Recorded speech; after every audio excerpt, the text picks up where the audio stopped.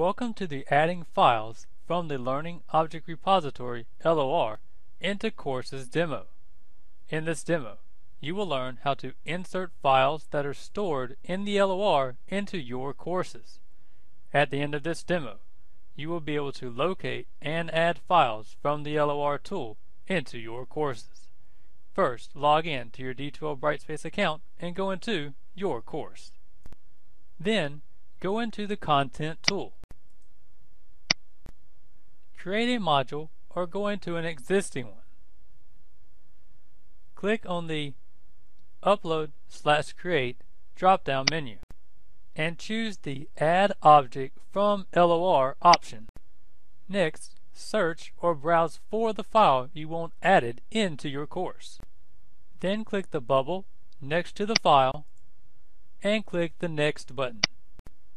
Next, choose the version option you want to use. Dynamic link to newest version means that if the file gets updated in the LOR, your course will also get updated. Locked link to this version means that if the file gets updated, your course won't update and you will keep the version you saved here. Copy as content means that this file will be copied into your course. We do not suggest using this option for large files. Then click Next. If you want, you can check the box next to Preview or View the content topic in a new window or tab. Then click the Create Topic button. The screen will update and you will see your file in your content.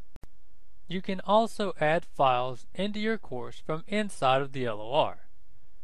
Go into the LOR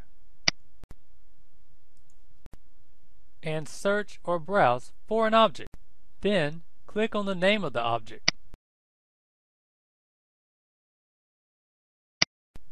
Choose the link version you want to use. Then choose where in your course you want the object. Then click the Create Topic button. Then click the Done button and go back into the Content tool. You have now successfully added a file published in the LOR into your course content.